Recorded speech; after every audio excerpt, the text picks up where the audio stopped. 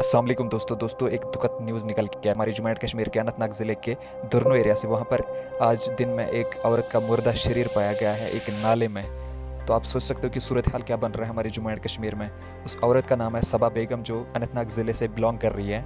तो फ़िलहाल पुलिस ने उसका जो शरीर है, वो हॉस्पिटल भर्ती किया गया है। तो उसके बाद उस पर पोस्टमार्टम शुरू भी हो रहा है। अब अब पता चलेगा कि क्या सूरत हाल बन रहा है इस केस में, कि क्या क्या हुआ है उसके साथ। हालाँकि पुलिस ने इस पर इन्वेस्टिगेशन भी स्टार्ट की है। सबा बेगम इस औरत का नाम है। तो अल्लाह ताला से ये दुआ करते हैं हम। अल्लाह ताला इसको जन्नतुल फिरदौस अदा करे। तो मैं हर किसी से यही रिक्वेस्ट करता हूँ, अल्लाह इसको जन्नत नसीब करे कि अगर इसने खुदकुशी ना की होती तो। बाकी इस वीडियो को ज़्यादा से ज़्यादा आप शेयर कर लीजिए। मिलते किसी नेक्स्ट अच्छे से वीडियो में। तब तक लाना बहुत सारा ख्याल रखे बवाल हाफिज़।